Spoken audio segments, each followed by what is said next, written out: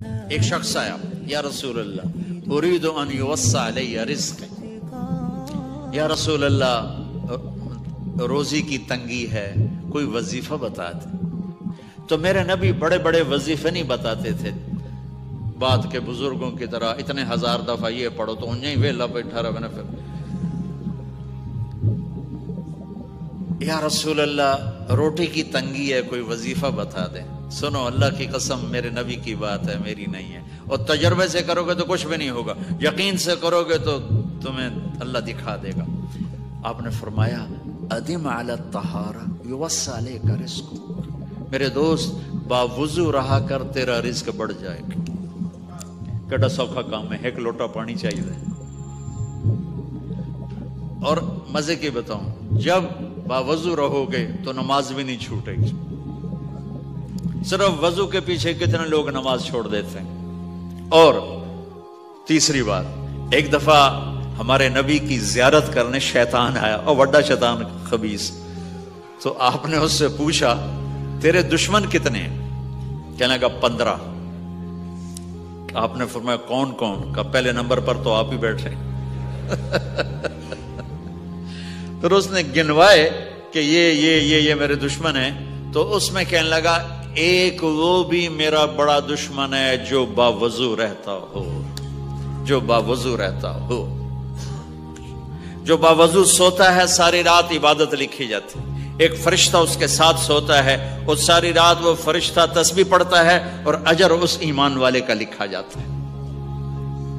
تو آپ باوضو رہو، سچائی پہ رہو، دیانتداری پہ رہو۔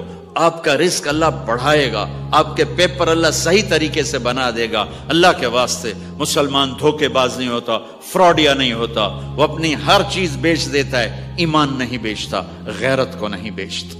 یہ ٹھیک رہے ہیں، یہ چند ٹکڑوں کے لیے پیچھے میں اللہ رسول کے بارگاہ میں رسوا ہو کے جاؤں، ایسا نہ کرو، بلکہ اپنی زندگی میں سچائی لاؤ دیانتداری لاؤ، صدق و امانت لاؤ، حسن سلوک لاؤ۔ اللہ تعالیٰ رزق دے یا تنگی دے، خرچ کرو۔ خرچ کرنے سے اللہ رزق بڑھاتا ہے۔ اللہ بخیل سے دوستی لگاتا نہیں اور سخی سے دوستی توڑتا نہیں ہے۔ سخی اللہ کو پسند ہے اور بخیل سے اللہ کو نفرت۔ تو میرے عزیزو، یہ ایک صرف حدیث پہ آپ عمل کر لیں۔ فرائض، نماز، روزہ، حج زکات تو فرض ہیں۔ فرض میں تو کوئی چھٹی نہیں، کوئی گنجائش نہیں۔ اس کے بعد میں صرف ایک حدیث بیان کر کے جا رہا ہوں۔ یہ ایک حدیث کے اندر سارا دین ہے۔ جیسے ایک بیج میں پورا درخت ہوتا ہے، ایک بیج میں پورا باغ ہوتا ہے۔ اس ایک حدیث میں میں نے سارا دین آپ کو بیان کر دیا ہے کہ سارے دین کا خلاصہ دو لفظ ہیں، سچائی اور امانت۔ اور سارے کفر کا خلاصہ دو لفظ ہیں، جھوٹ اور دھوکہ۔ جھوٹ اور فراڈ۔ مسلمان نہ جھوٹ بولتا ہے، نہ فراڈ کرتا ہے۔ وہ سچا ہوتا ہے، وہ دیانتدار ہوتا ہے۔ میرے نبی کی پہلی، سب سے پہلی جو صفتیں ہائی لائٹ ہوئی جو کافروں نے کہا، صادق امین صادق امین صادق امین۔ نہ گورنمنٹ سے فراڈ کرو، نہ پیپر نمبر دو بناؤ، نہ یہاں کی لڑکیوں کو استعمال کرو اپنے پیپر کے لیے۔ اللہ کے واسطے سچائی کا دامن نہ چھوڑو۔ یہاں کی عزت بھی پاؤ گے اور آخرت بھی عزت بھی پاؤ گے۔ یہاں اگر ہم نے اس طرح جھوٹے موٹے فراڈ سے کچھ بنا بھی لیا، تو کب تلک ہے؟ کیا موت پیچھے نہیں کھڑی؟ کیا اسرائیل پیچھے نہیں آ رہا؟ کیا قبر کی مٹی نہیں ہے؟ یا قبر کا کھڈا نہیں ہے؟ یا تو ان چیزوں کا انکار کریں۔ جب نہیں کر سکتے تو راستہ بدلیں۔